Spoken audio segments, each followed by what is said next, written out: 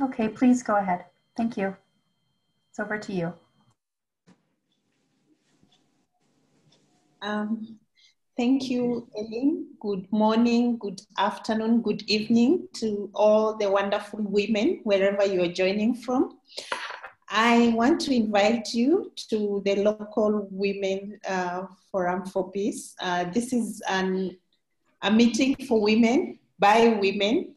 And this afternoon, we will be looking at uh, two case studies of uh, how peace is being championed in different countries.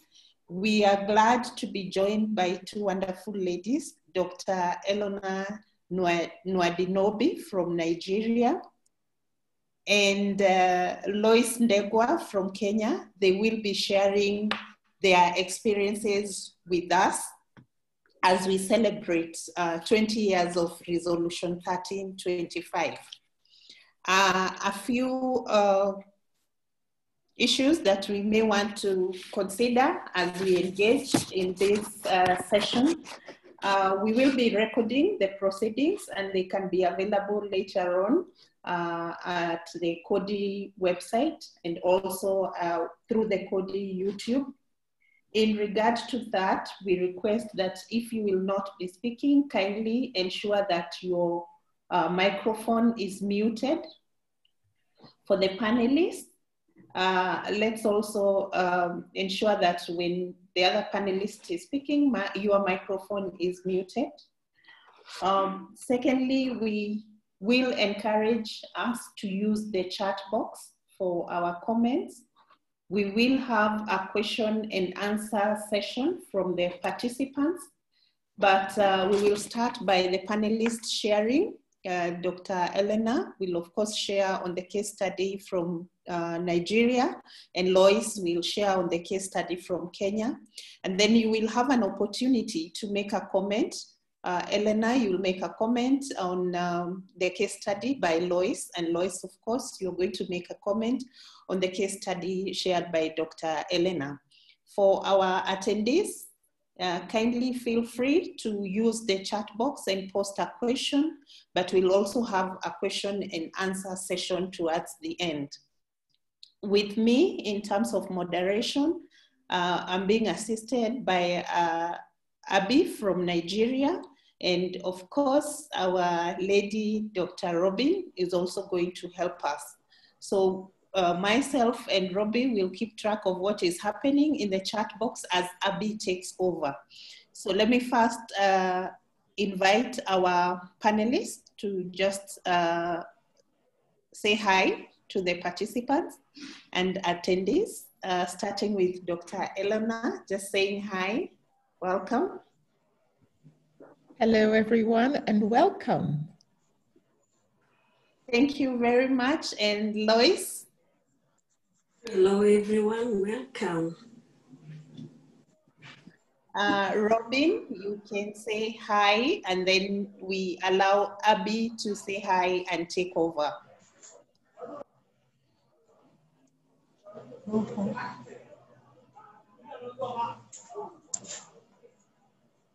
All right, Abby. Abby, take okay, over. Okay, thank you very much, Salome. Thank you, Salome, and greetings to all our panelists and participants who have joined us for today's section.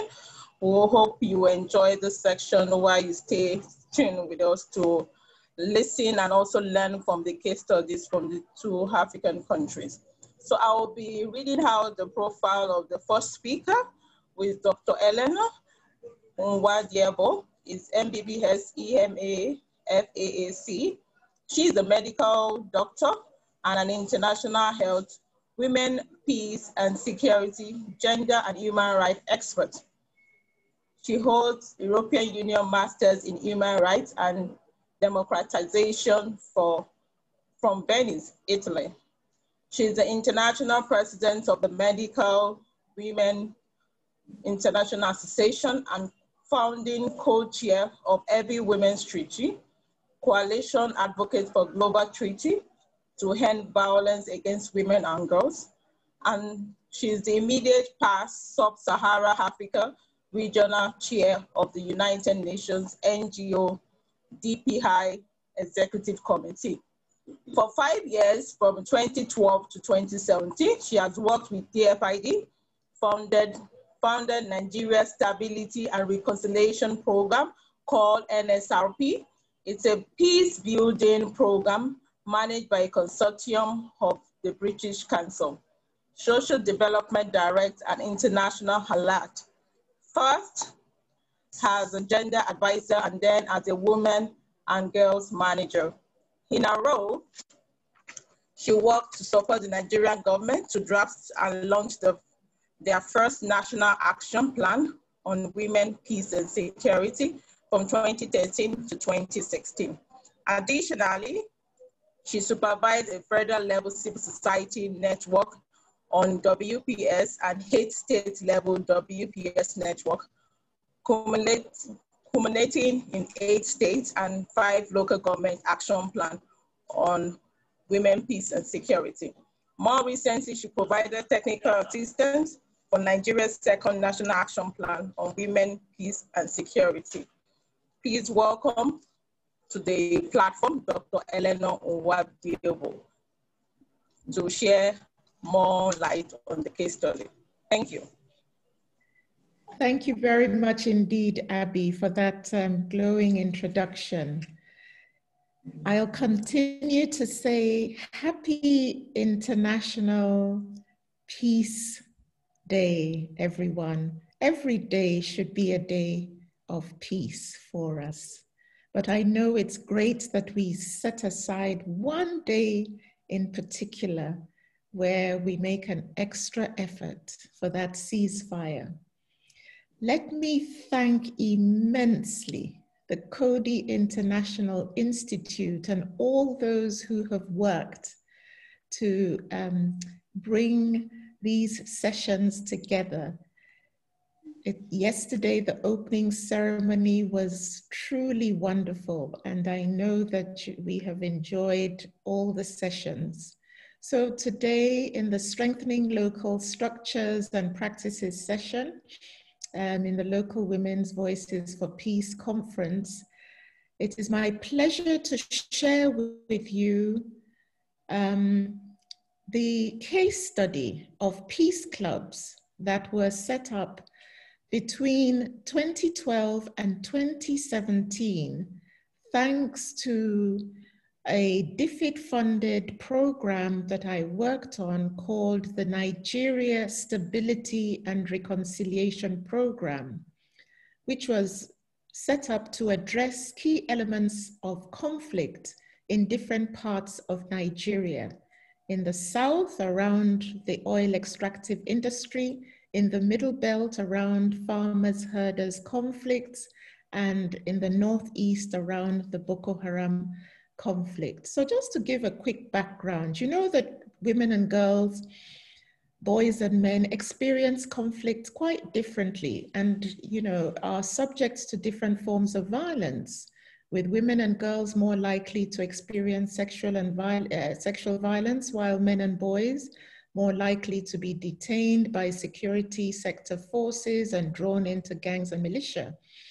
And Nigeria has a background of being deeply rooted in patriarchy and with men and women socialized differently and, you know, disparities in their access to power, to resources. And in the midst of this, you have an estimated 35% of women and girls who are 15 years or older um, experiencing one form of violence or the other. So let me, um, let's look at safe spaces, which is what we, we called the Peace Clubs. Um, the Peace Clubs initiative focused on building the capacity of young people within the ages of 10 to 24.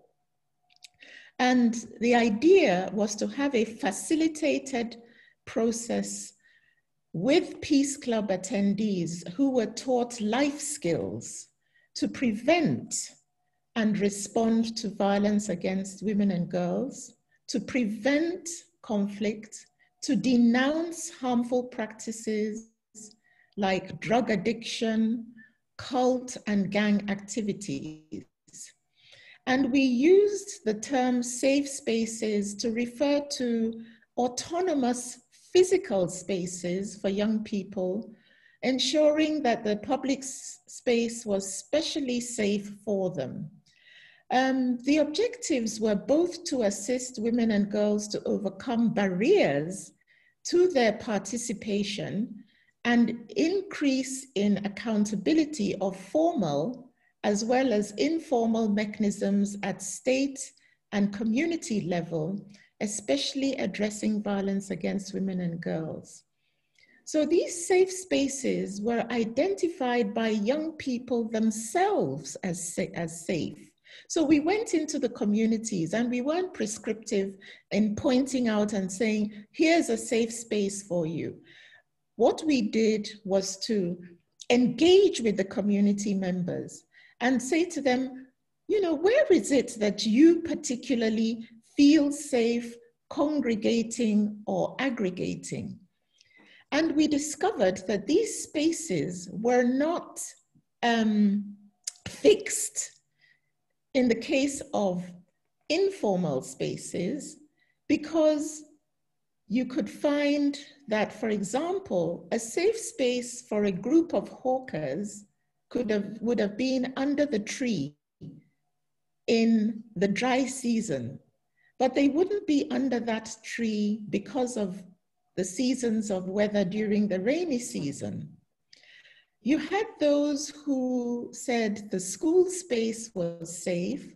Others identified worship centers as safe spaces, so churches and mosques.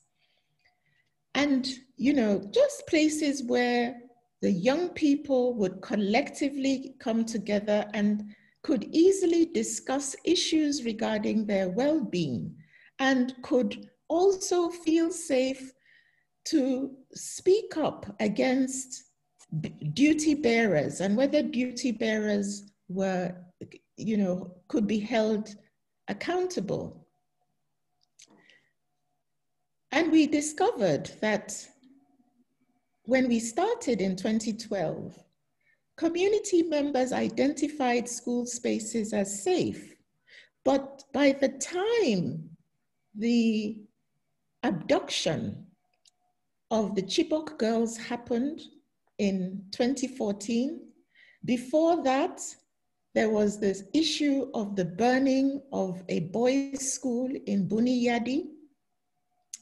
And after that, the abduction of girls in their schools in Dapchi, it now became clear that for some, schools are actually not safe spaces. So how, what did we do to get these peace clubs underway?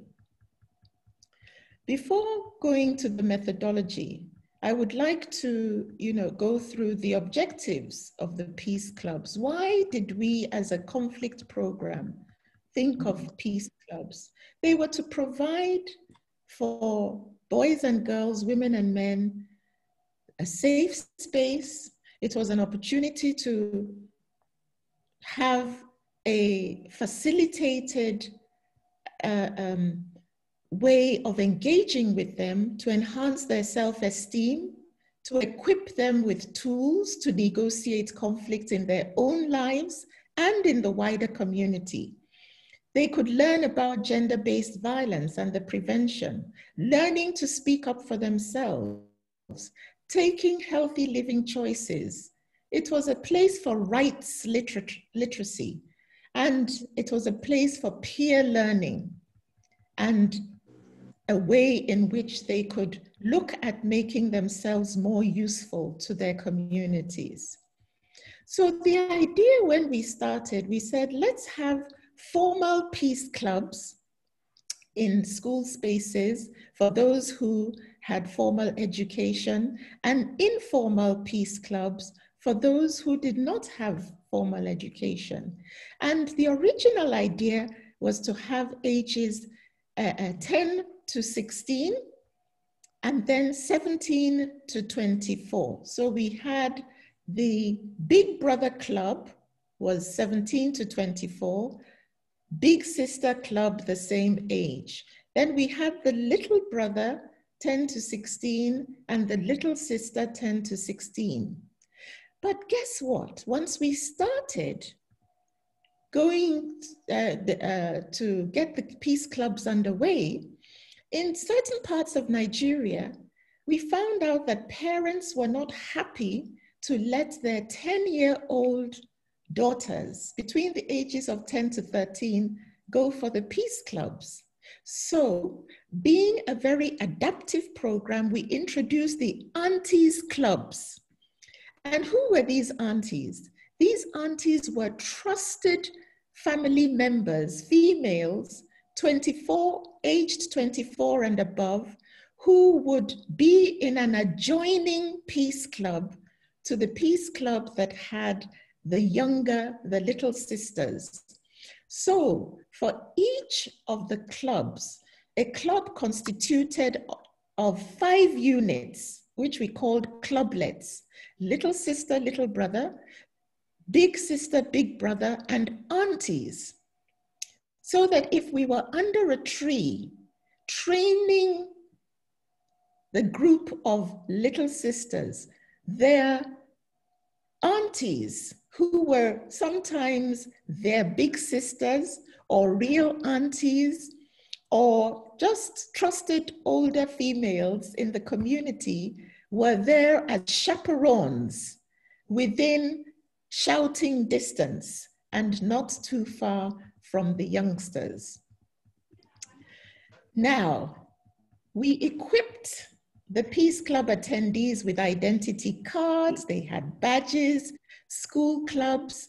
The boys were given flannels and the girls were given hygiene packs. They had stationery and we developed a manual. They also had the, the, the, the, each facilitator for each clublet had a mobile phone and they were taught because some of them needed to be taught how to send text messages. The facilitators had to be those who were literate to send text messages and they each clublet had a solar powered radio.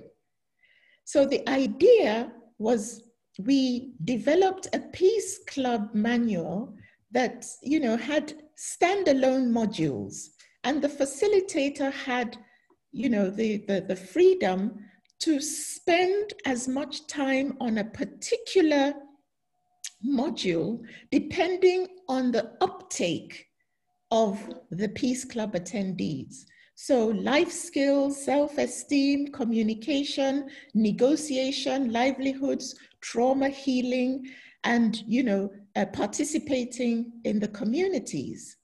And the facilitators used to send their reports by text message to members of NSRP. Those facilitators went through a very rigorous selection process we had to make sure that there was safeguarding by the civil society organizations who supervised each of the clubs. In the period of the five years, we had 11,709 Peace Club attendees, of which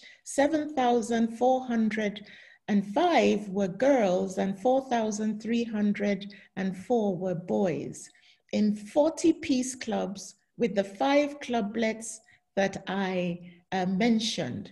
Now, let me go quickly to the achievements. We were able to record some huge success stories. Because we were in different parts of the country, we had, for example, in Rivers State, members who had been, who were um, reformed cult members so there was an issue around cult and gangs in the southern part of Nigeria around the extractive industry. And through our peace clubs, cult members denounced cultism and followed the course of reform through Peace Club inter interventions. We had them actually partner with security agents so that, that they signed peace pacts with uh, security agencies and began to work with security agencies to improve their communities.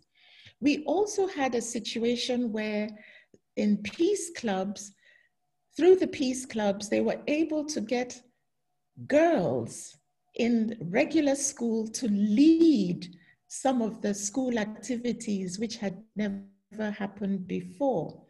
We had a situation where without support, those who admired this, the Peace Club intervention now created more peace clubs within the communities. Some of the community activities that the uh, Peace Club attendees was such that we had a, a, an attendee who was out of school and you know selling pure water now requested of her community that she wanted support to attend proper school. And the community rallied round her because they had seen how much she had become a leader in her community. In, in Borno State, where we had the, the Boko Haram conflict, we had 35 street hawkers who mm. decided to take on an alternative uh, income generating activity. The community rallied round them and based on their, their abilities, they were able to set them up, uh, uh, the older ones in small scale businesses. The communities themselves now discovered that thanks to the Peace Club attendees, that the, the um, level of criminality in the communities uh, reduced. But we did have challenges. As I, as I round up, we had challenges. We had issues, for example, of the, the name club in, in a particular part of Nigeria was misunderstood as a nightclub. And so we had to go the extra mile to explain to members of the community that a club was not a night a, a, a nightclub. We had issues around attrition because some of those in the informal peace clubs, the clubs that the, those who were meeting in sheds under the trees, some of them belonged to nomadic communities. So we had um, attrition and movement. We had issues around seasonal um, variation. And there were those who felt the peace clubs were, were providing only Western education until the facilitators who were providing Tsangaya education were able to, to let them know otherwise. So as I conclude, one of the things that you might want to ask is, well, that support was only for five years. And what has happened since? You have to realize that when you have programs that are funded eh, of this nature, they are intended to fill gaps where there are systemic failures. And these short program lifespans sometimes are not long enough to entrench long lasting visible change. But the reality is when you now have the opportunity to go back and measure impact, I have had up until you know to to, to the, this present time. And this program was something that closed down three years ago in 2017 facilitators calling me to say oh peace club attendees have either excelled in community work or excelled in their schools or they are now community leaders. And we were able to link the peace clubs with another part of the program, which was an observatory on violence against women and girls, where we found out that we were able, through peace clubs, to break the silence around violence against women and girls because the, the girls who were violated found that they were in a safe space. They had a trusted facilitator. The facilitator could send a report via text message to an observatory steering committee that was also supported with healthcare personnel, legal personnel, security sector personnel, and community leaders. And the observatory was very linked to the Peace Club initiative, where we were taking reports and responding to reports of violence. I'll stop for now, and I'm sure we can get more information during question and answer time. Thank you for listening. Yeah. Thank you so much, Dr. Eleanor. We really learned a lot from the case study and to hear about how you balance with the informal sector, carrying the informal youths along in the whole process, and also some of the necessary requirements for establishment of a peace club was also one of the takeaways for me. So I will now ask our second speaker, Lois, to please uh, make a few comments about this case studies. Hello, thank you, doctor. Thank you for the information. I have learned a lot from that case study, and I have found it very unique, and especially uh, the age of the, the club members. Actually, from 10 years, I think that's a very, very unique thing. I have learned a lot because I would say in Kenya, it would be a bit tricky for parents to allow their children to participate in such peace clubs. And I have learned of how they also found it a challenge with some of the parents and even the uniqueness of how they went around convincing them through the ants, ants club to, to allow the children to participate.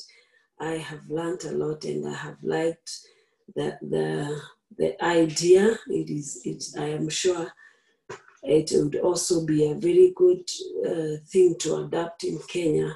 I have liked the club thing, and I, I think I have gotten an idea of something we can also adapt and, and do for this matter. Thank you. Thank, Thank you so you. much, Lois, from um, for your brief comments about the case study. I will now hand over to Salome to carry on with the next panel. Participants can keep their comments coming in the chat box while we wait for the second speaker to finish our presentation before we take comments from participants. So over to you, Lloyd and Salome. Thank you, Abby. Thank you, uh, Dr. Elena, and thank you, Lois, for your comments. Uh, before I invite Lois, I will uh, do the honors of introducing Lois the best way I know her. And uh, for me, Lois has been one of the champions of rights in Kenya. She has been quite active on matters uh, peace and security. She comes from one of the counties in Kenya where uh, conflict and peace uh, uh, do not walk hand in hand. And what do I mean by this? I mean, uh, every other day she has to live, see, and try to intervene when these things happen, and it is not easy. So I would rather dwell on Lois, the uh, peacekeeper at the community level, Lois, the uh, woman human rights defender, and of course, Lois, the lady who is here to share with us.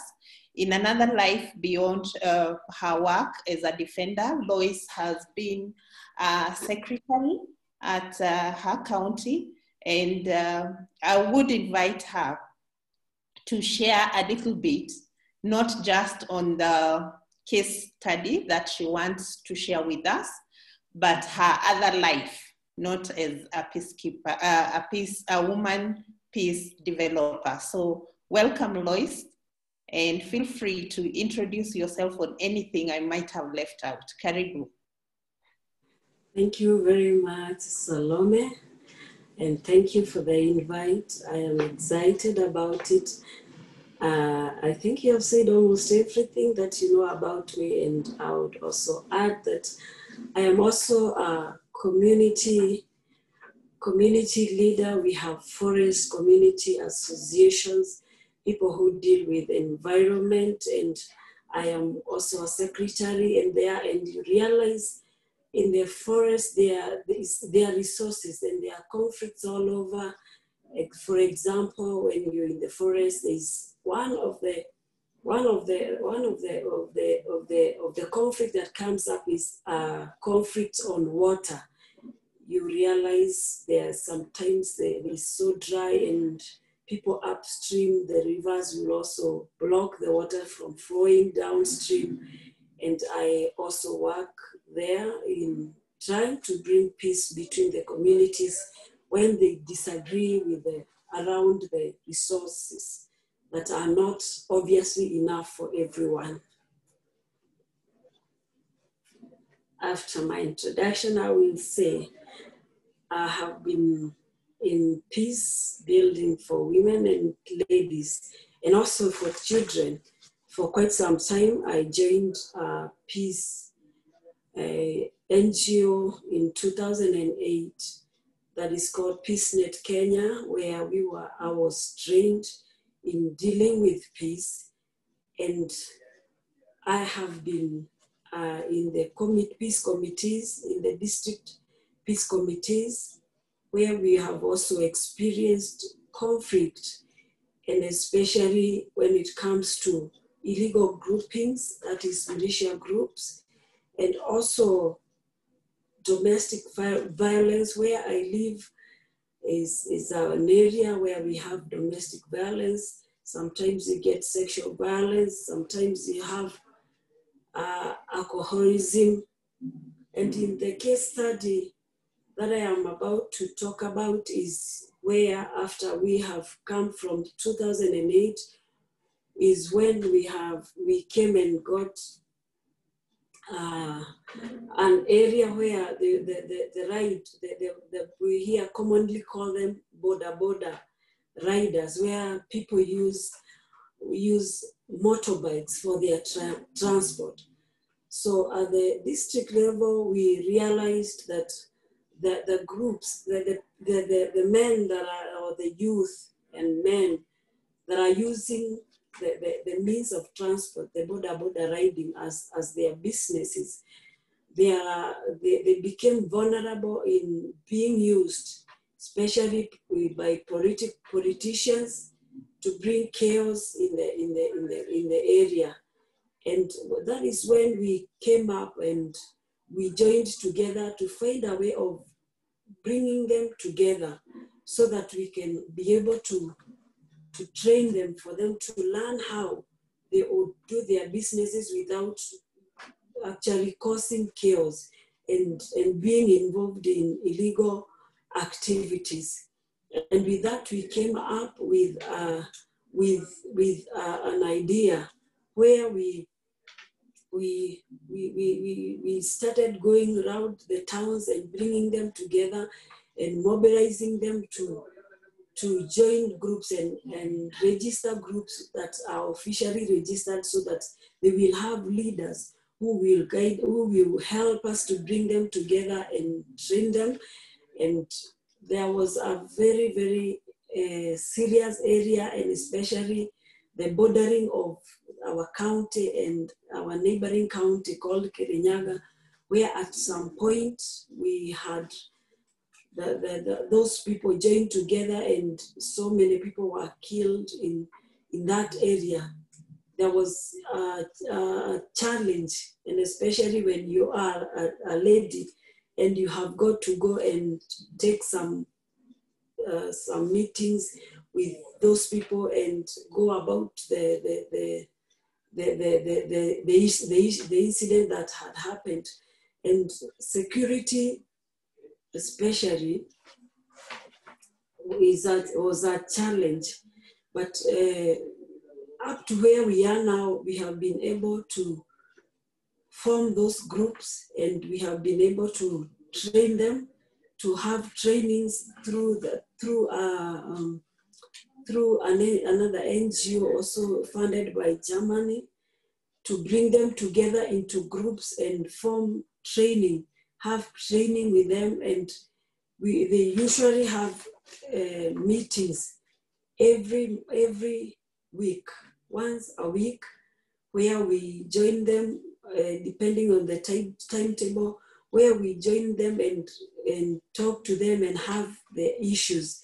In those groups that we have formed, they have also, they we also help them to register their, the, to register the, the way they would also save and also build them uh, their livelihoods. And also in this, in this case study, we have seen uh, achievements in how we have brought them together. And even you realize, we also realize they also are not able also to improve their lives and even to groom themselves. So we also brought together um, other stakeholders who would also train them on how to go about daily their daily lives. And that has been an achievement. We have seen them, we have seen those groups, registered groups come together and also been able to convince them even to not participate in the, the, the activities that would also be a threat to the peace of, of other people. You realize also in this case that most mostly the people who use the boda bodas or the motorbikes to ride are ladies, are women and girls. And we also had cases where maybe a woman is, is takes the, the, the ride and at, at, at some point they will be taken the, the, the, the, into the other ways that they, they were not riding. And there you realize that when they get to a point they are raped and they are they are they, they, they, they and they are raped and and or maybe um, maybe violated by, by, by the riders. So we have also been able to, to uh, make them learn uh, and get out of those illegal activities. I will end there and I hope you have learned something from my case study. Um, thank you, Lois, uh, for the sharing. I want to invite Dr. Elena uh, to just give a comment or two on the case study that uh, Lois has shared before uh, Abby takes it up with a questions and answers session. So, Diana, welcome. Lois, thank you so very much for, you know, such an enlightening contribution. And, you know, I applaud your courage in the work that you're doing you know, working, telling us about your work in the forest. In fact, as you mentioned that, I had lovely memories of the very rare opportunity I had of meeting the late uh, Mama Wangari Maathai in, uh, in Strasbourg. And, you know, um, as you spoke about that, I, I remember that, you know, Kenya has such a wonderful legacy I applaud your courage, um, um. And, you know, the, the fact that, you know, you're working with the Boda Boda riders, and I see similarities with Nigeria where they too here are used by, you know, um, politicians. And, you know, I've learned a lot from how you have engaged with them. And um, it's sad to hear that, you know, uh, women and girls also suffer um, sexual violence in the course of using, you know, the boda boda, which they would use for transportation. Thank you very much, Lois, for sharing um, the, the incredible work that you're doing. And please be encouraged. Thank you, uh, Dr. Elena. I want to invite Abby to lead us into the question and answer session. And to our attendees, we now open up the floor. You are free to ask questions to both uh, Dr. Elena and Lois. However, before Abby takes it up, I had noticed two, two requests that had come through the chat box. One was uh, direct to uh, Dr. Elena. Somebody was asking where they can get the case study. I'm sure you can direct us to it. And then the other, the other request was to both of us uh, in terms of whether we can share our email contacts uh, with attendees so that they can have, they can engage with you both later. So feel free to share. Abby, welcome and pick the question and answer session. Okay, thank you so much, Salome. I must say I've shared the link to the YouTube video for this case study Dr. Helen shared. So it's on the chat box, or you can scroll down, you will see the YouTube video for the case study. You know, you must agree with me that women are really organizing local support and resources to address conflicts, conflicts in their communities in order to foster peace and justice. And that's the whole essence of um, this whole discussion, setting up structures and support system. And from the two case study, we could see similarities, carrying the necessary stakeholders along in whatever establishment you have to do, and also involving the support of key decision makers in whatever we're doing is one of the key things that you know is important in the case study. So I will now leave it up open to participants to ask their questions. So if you have uh, questions or contributions,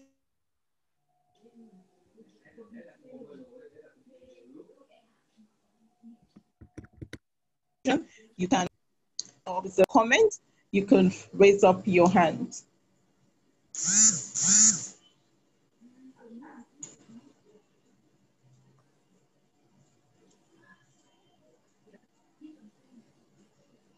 Okay.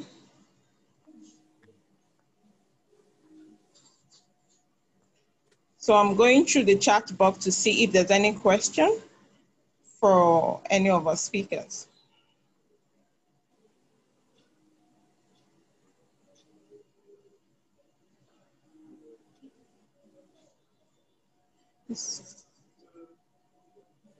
Whilst, whilst we are waiting for the questions to come up, it's just to um, echo what um, Abby has said already. There is a, a, YouTube video, the link is in the chat.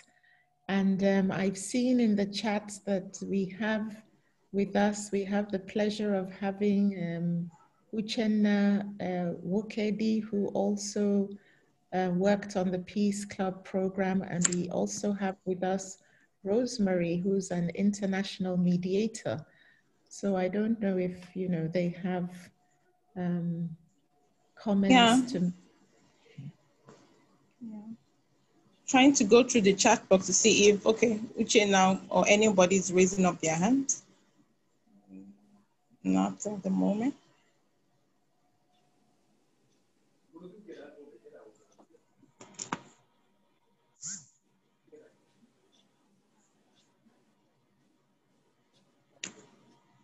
Okay, Uchenna is raising up her hand. Can we unmute her? So we have two people. Can we unmute? You can unmute yourself, Uchenna.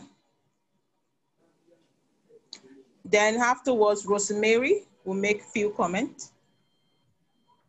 So Abby, I have to move the attendees over because this is a webinar format.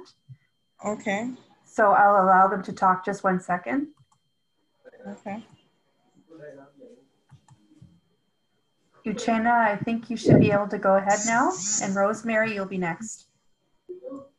Okay. Um, thank you, Dr. Eleanor, for sharing the um, Peace Club, the NSRP experience. And welcome, everyone. Um, I have just a contribution to make and also a comment. And maybe this comment to be directed to Dr. Eleanor. Um, Dr. Eleanor, considering the work that NSRP did, uh, with the youth on the Peace Club initiative. Um, don't we think um, Nigeria should begin to look at how we're going to uh, integrate or incorporate uh, the United Nations Security Council Resolution 2250 that talks about um, involving youth in peace building. You know, um, I would like to know, or it may be also good if you can share with the with the House now uh, what Nigeria is doing in that direction. So, like, uh, because that is about taking the Peace Club thing forward, you know. Thank you, Uchenna, for the question. I will hand over to Dr. Eleanor to respond to this question before we take the next one. Thank you very much, Uchenna, for that hugely important question. Um, exactly as you have said, you know, with, with the focus on um, 1325 on women, peace and security, um, you have to realize that it took Nigeria 13 years to have their first national action plan on women, peace, and security, despite being one of all the nations in the world that uh, signed up in the year 2000. So, you know, sadly, we have a history of being slow in domesticating you are also aware that uh, part, an integral part of the National Action Plan on Women, Peace and Security was the, uh, it was the Nigerian Violence Against Persons Prohibition Act. Again, that took 14 years. So quite right, in the context of 2250, time has come for us to integrate all the gains the lessons, the focus, the inclusion of our young people as, you know, laid out in 2250 and uh, the, the gains of the Peace Club, that is where we should look towards. It's going to take concerted effort. It's going the, the sort of effort, and that's why I gave the history and our background of how long it took us to get our National Action Plan on Women, Peace and Security. And one of the things I mentioned during my contribution is the fact that, you know, we, we appreciate the, the, uh, uh, th those who um, assist us with um, donor aid. In fact, the history of Nigeria's National Action Plan, the first and second generation on women, peace and security cannot be told without the help of the UK government, DFID, and the help of UN Women. But you know, we need to realize that nation states themselves are responsible for ensuring that you know they, they domesticate these laws, these instruments, these policies. And when we do get donor aid through programs, they have a lifespan. So it's time for the Nigerian government, as you so eloquently said, Uchenna, and we look to civil society, we look to, you know, it, it has to be a whole of society and a whole of government approach because any country, wherever we are on earth, that fails to invest in its young people has failed to invest in its future. A lot of times, young people are told, You're the future. But to be honest, our young people are the now. Because if we continue referring to them as the future, then it means that we have not created the space for them. The future is for those yet unborn. But for your young people, they are the now. Thank you very mm. much. Thank you so much, Dr. Helena. So now we'll give the floor to Rosemary to ask a question. Rosemary, can you unmute yourself? Um, I think I've unmuted myself. I don't have a question. I have more of a contribution than a question. I would like to appreciate uh, Dr. Eleanor for her presentation, well detailed. I'll call that vintage Eleanor. Um, my contribution is this. We always have um, this um, firebrand approach to managing conflicts and uh, peace building. here's my take. Um, mediation actually, when applied early, is used to prevent conflicts. We don't have to wait for conflicts to happen before we start trying to build a peace. So we can try to um, use these skills, mediation and conflict resolution skills to prevent conflicts before it escalates. We all have, not just in Nigeria, all over Africa, have this approach of force, using force to, to douse situations when it has polarized. Let's learn to use the skills to prevent. By prevent, I mean getting people to acquire the skills in the local settings so that as things are rearing their heads, they'll be able to douse it before it gets to point of uh, using force. And when it's doused early, you find that force is not needed. Thank you. Thank you so much, Rosemary, for your contribution. So now I would uh, read out one of the questions that we have, and it's, and it's for both our speakers. Lydian is asking how we can gain trust of the community to start a Peace Corps and also let the parents send their sons and daughters to the Peace Club. So it's just about acceptance of necessary stakeholders to your Peace Club. You know, Dr. Eleanor, you talked about the misconception about the word club. So how do you go about that, resolving that? And I will allow Lois to start first on um, to answer this question, then Dr. Eleanor can wrap up.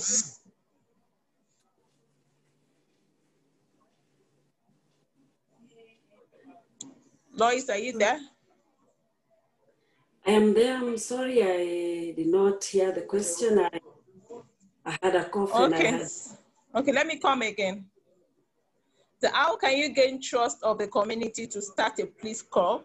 So I don't know if you have any uh, comments no, on that? Right now, we don't have peace clubs, and we can trust the uh, the community. They can. I am sure we can trust them, and they can trust us, and we can have them. Thank you so much. Thank you. So, Dr. Eleanor, can you respond to this question on how we can gain trust to start a peace club and also how to convince the parents of teenagers to allow their children to come to the Peace Club. Thank you very much. Um, the first thing, um, you know, there wasn't time to go through the process, but the first thing is reconnaissance. You go into the community, and it's usually good to find somebody who is a trusted member of the community to take you into the community if it is one that you are not familiar with as a practitioner. So to do that reconnaissance, somebody takes you into the community and a lot of our communities have community leaders, men and women. And we need to show by example by being inclusive.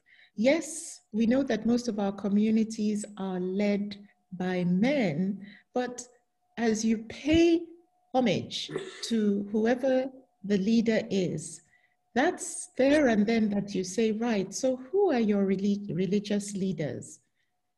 They might want to point to somebody who is their own faith leader, but you also ask, are there other faiths?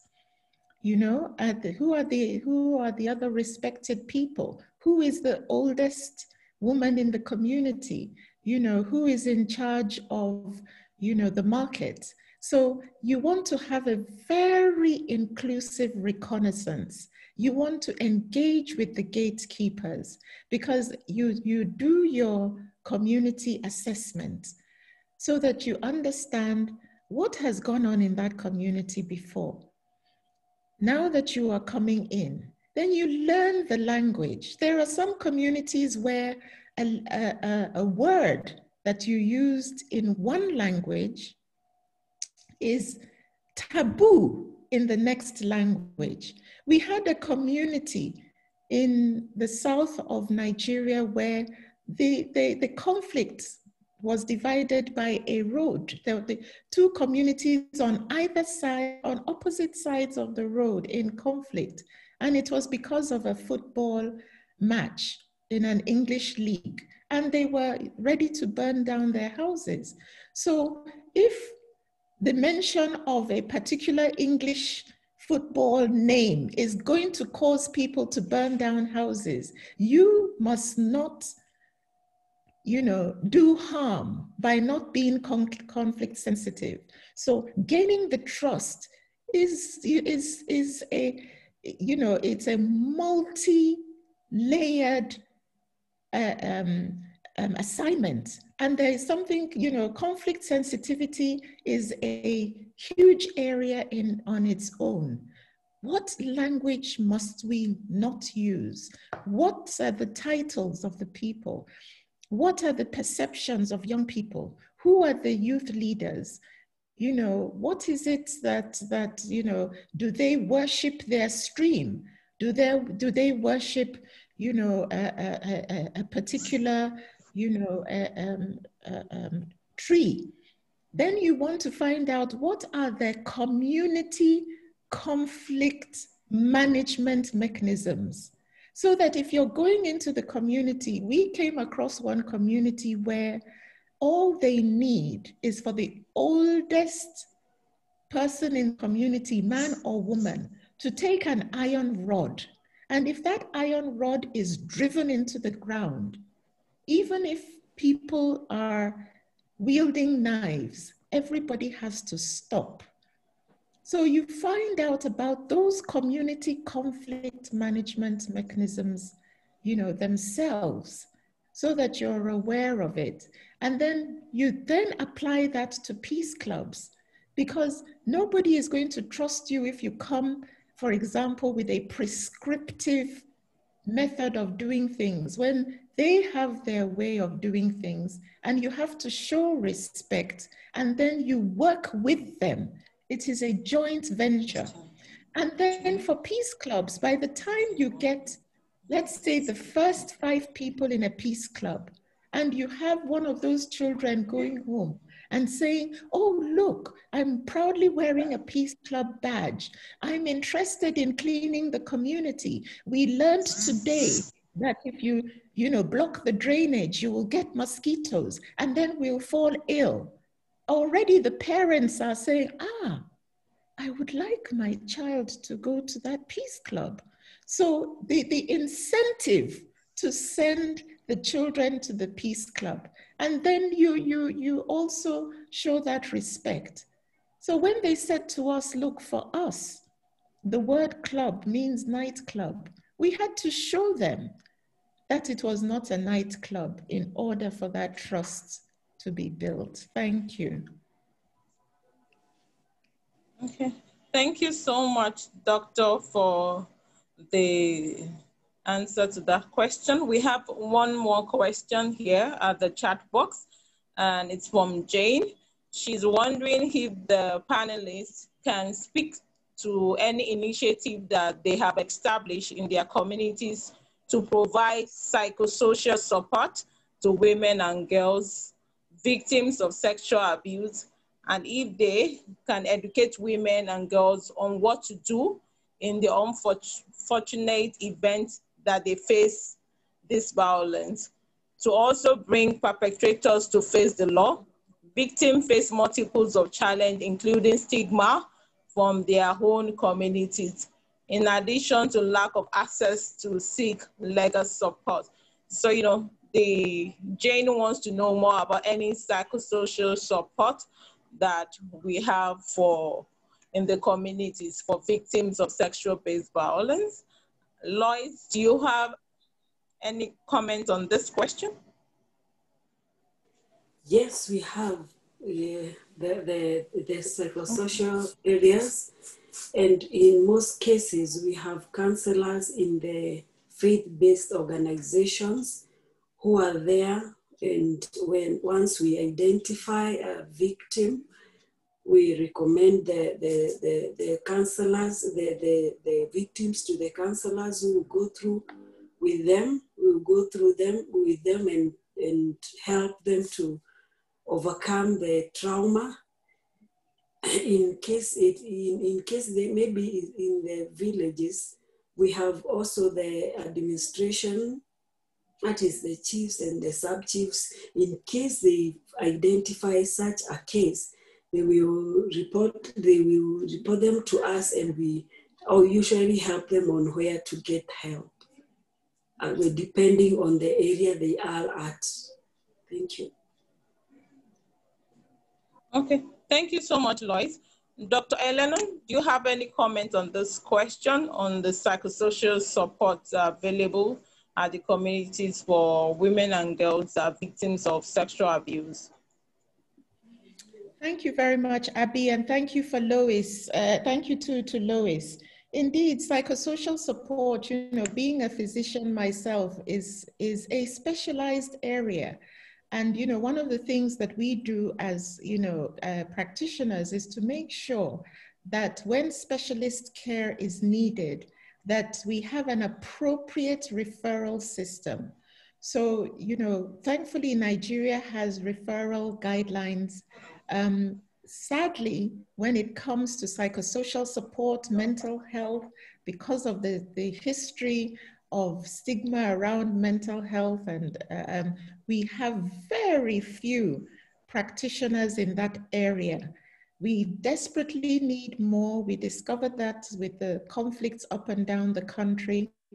And, you know, sadly, we do have those who feel oh, you can become a counselor by going to a one day training. Unfortunately, it doesn't work that way.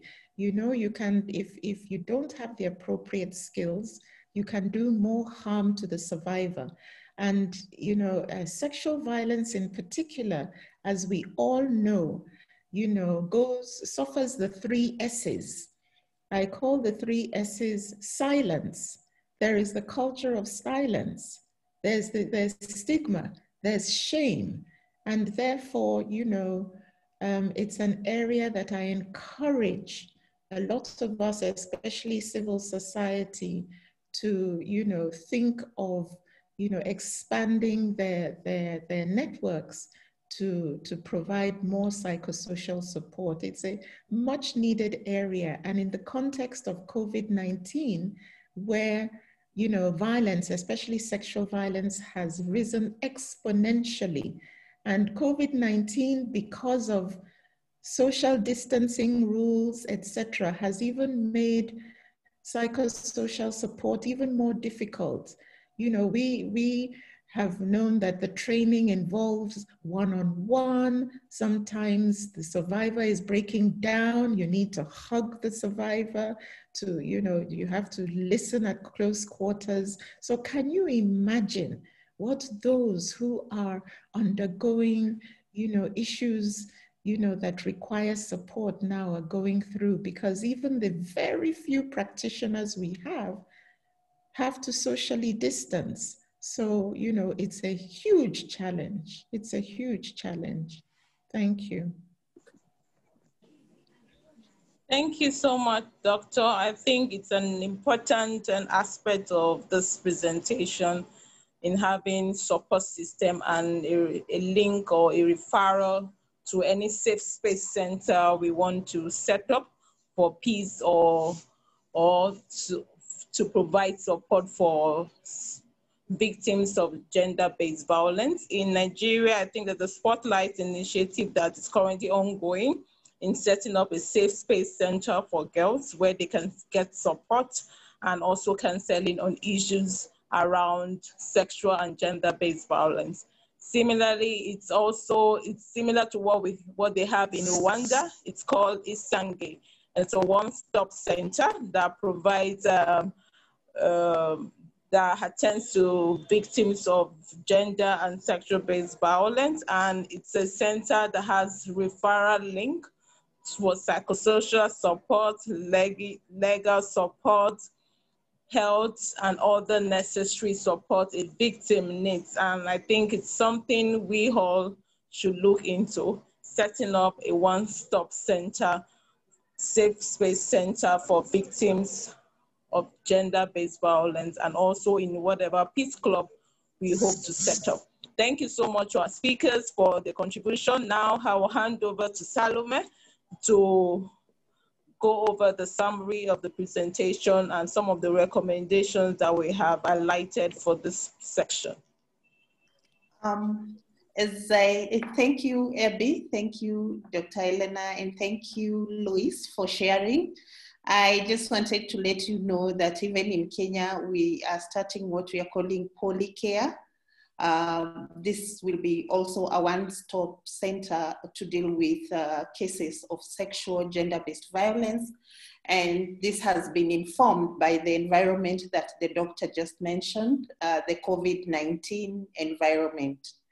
So in sharing briefly some of the com com common uh, aspects that I have been able to pick uh, is uh, one, uh, starting with the peace clubs, uh, the fact that men, uh, women, boys and girls are affected differently by conflict and therefore when setting up um, an intervention, you need to think about the impact that conflict has on men, uh, women, boys, and girls. The other thing is the fact that the safe spaces that uh, Dr. Eleanor mentioned are spaces that were identified by the boys uh, and the young girls. And uh, the similarity in that uh, with the Kenyan case study is that uh, the interventions uh, being put on by the boda boda people uh, together with the, uh, the peace committees that Lois and team are working on have been identified by the same people. So when dealing with conflict, it's uh, important that the involved parties are made part and parcel of the interventions that we are seeking to put in place the question of uh, achievements and uh, uh, that each intervention and case study has been able to get cannot be underscored. Uh, Dr. Eleanor mentioned to us the numbers of boys and girls who have benefited and the fact that parents have come to appreciate the work of the peace clubs and something as simple as people understanding that when we talk about clubs, we do not mean the place where people go to take alcohol.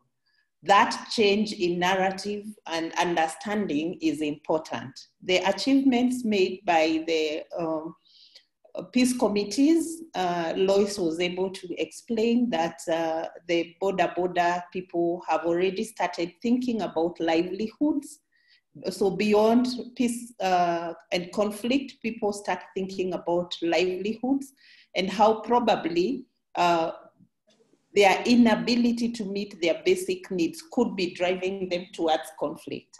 So uh, each case study has brought out different uh, achievements based on the target group and the environment they are operating in. Uh, towards the end, I loved the conversation about trust and how to build trust within our communities. Trust is not built within a day. It is a process that you invest in. There's a lot of community organizing that goes around it, but of importance, the language of peace is key when you're dealing with issues of conflict and peace building. You need to understand the language, you need to understand the meaning that is put to words so that you do not escalate any conflict. Uh, a final similarity was on the referral pathways that exist between, um, in the case study of Nigeria and in the case study of uh, Kenya. In Nigeria, we had, they have uh, referral systems and guidelines for the case of Kenya, uh, Lois was able to tell us uh, we have referral systems within civil society, but also the administration and the peace committees themselves are referral pathways. To cap it, uh, the doctor shared with us the three S's that are normally associated or lead to uh, associated with trauma. That is the silence, the stigma, and the shame. And she urged all of us, as civil society, as people working with communities, to try and invest in psychosocial, something that both the peace clubs and the peace committees have invested in. So as we uh, come towards the end of our session, uh, one of the key recommendations that I'm hearing being mentioned, said silently and loudly, is the aspect of investing in psychosocial support for sexual gender-based violence, be they women, boys, girls, or men. This is key because when somebody is not stable, when somebody is traumatized, they are not able to deal with issues of uh, their own personal conflict, but neither can they intervene in situations where they find other parties conflicting. So if you're not going to carry anything else out of this session, kindly make sure the question of psychosocial becomes part and parcel of what we all should strive to do as people who are working in the field of peace and conflict. So Abby, back to you so that you can wrap up for the session. But I want to say thank you so much to our panelists. Equally, I have learned a lot from Lois and Dr. Eleanor. To our attendees, the questions you were asking were not just questions, they were questions to make us think deeper of our environment. To the comments that were being put in the chat box, the gratitude comments, the words of encouragement, and the information that was thrown in there for us to take home. I want to say thank you because it will be informative not just to me, but to the community of women defenders that I work with. Abby, back to you.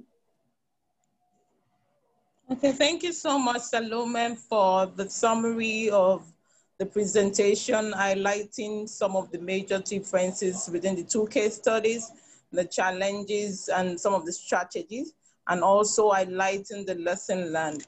You know, you can't quantify the impact of educating or teaching young children about peace values because it's something that they grow up with. So I want to encourage all of us to take that behind, you know, with us as we live in this section. But before we go, final words from the two speakers, starting with Lois. You, your final word, please. Um, thank you very much for everything. I have learned a lot from this meeting, and I hope we shall continue uh, learning together and doing the work of peace together. Thank you all for everything. Asante. Asante. Thank you so much, Dr. Eleanor. Final word, please. Thank you very much to Abby, Salome, the organizers, um, my co-panelists, Lois, and uh, the participants. Thank you for being a very engaged uh, uh, group of friends. This conversation has to continue. I would like to say that ultimately, there is one thing that will hold us all accountable, and that is a global treaty to end every form of violence against women and girls. It will hold our governments accountable.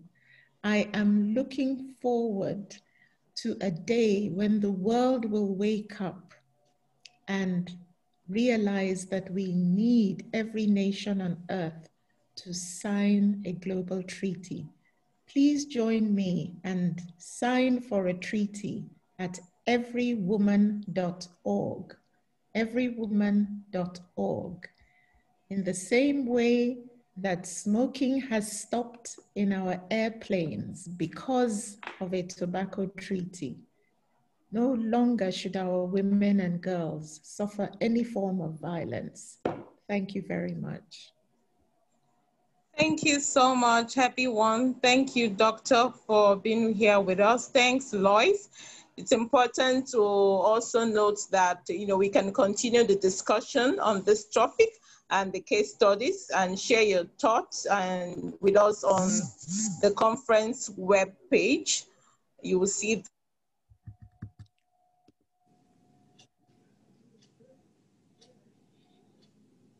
that at the end of the session for giving us the platform to share our thoughts and also our recommendations towards the promotion of peace in Africa and the rest of the world.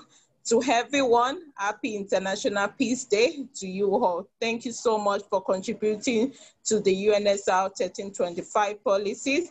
And thanks so much for the work you're doing around the world to promote peace. Thank you so much. Bye. Thank you. Bye, everyone. Bye.